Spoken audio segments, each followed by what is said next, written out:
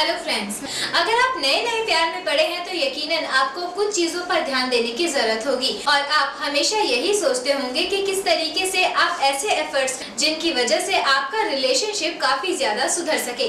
दोस्तों, अगर आप भी चाहते हैं कि आपका रिलेशनशिप सुधर सके तो आपको कुछ चीज़ों पर ध्यान देने की ज़रूरत है। जैसे की अगर आपने अभी अभी नया नया रिलेशनशिप स्टार्ट किया है तो अपने पार्टनर का पीछा गलती से भी ना करें। उन्हें फॉलो करने की कोशिश ना करें बार बार उनका पीछा ना करें।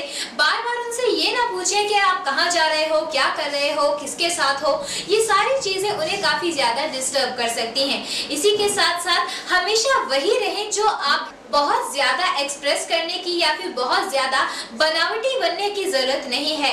जो आप हैं वही एक्सप्रेस करें और इसी के साथ साथ अपने पार्टनर को खुश रखने के बारे में भी सोचें। सो so, दोस्तों ये है कुछ चीज़ें जो आपको नए नए प्यार में अगर आप पढ़े हैं तो आपकी हेल्प करेंगे।